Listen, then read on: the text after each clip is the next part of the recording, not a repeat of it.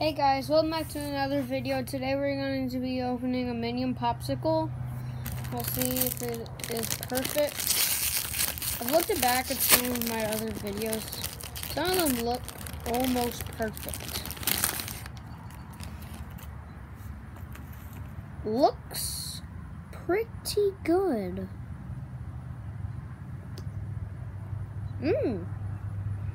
This is banana the Minion popsicles are flavored um, blue, blueberry rasp and strawberry banana. They taste amazing. They are like the one of the best popsicles that I've ever had, to be honest.